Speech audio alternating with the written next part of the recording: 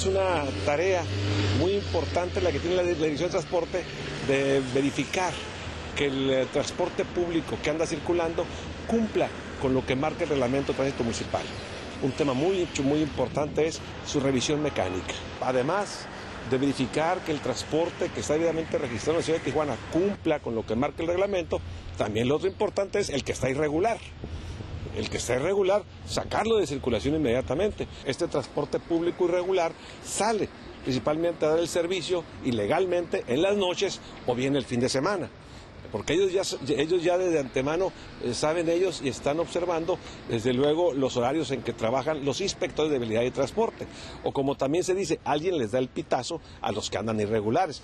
Por lo tanto, tenemos que hacer nosotros estrategias eh, para, eh, para desde luego ubicar este tipo de transporte público con el mayor sigilio correspondiente. Por lo tanto, los operativos van a continuar, definitivamente, y el que está irregular va a salir de circulación. Los mejores inspectores también son los transportistas.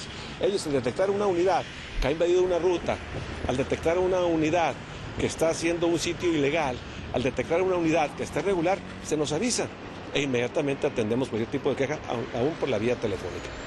Atendemos las quejas inmediatas de los ciudadanos que, en alguna medida sienten que tienen un servicio deficiente con, alguna empresa transportista y se atiende inmediatamente. La capacidad, la capacidad de las unidades, sabemos nosotros que muchas veces los choferes, porque es una condición humana, pues en alguna medida incumplen ahí con el reglamento y se la juegan, en el sentido de que no va, pase un inspector de verificación o, una, o un agente de la Policía Municipal, porque también les recuerdo que tanto Seguridad Pública como el de Transporte Público Municipal tienen, están facultados para infraccionar a, los choferes del transporte público que incurren en alguna de las violaciones al reglamento de la Policía Municipal o al, o al reglamento de transporte público y desde luego el traer mayor eh, pasaje, estar fuera de su capacidad, es una infracción, desde luego, al reglamento de transporte público, que una vez que lo detectamos es sancionado el chofer correspondiente.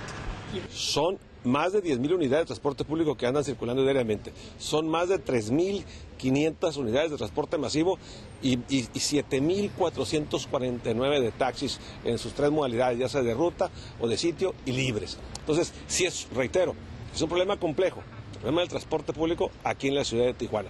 Pero bueno, estamos haciendo eh, todo lo posible, desde luego, por eh, llevar a cabo un ordenamiento como nos lo ha instruido el alcalde de Tijuana y privilegiando siempre, el, desde luego, al usuario.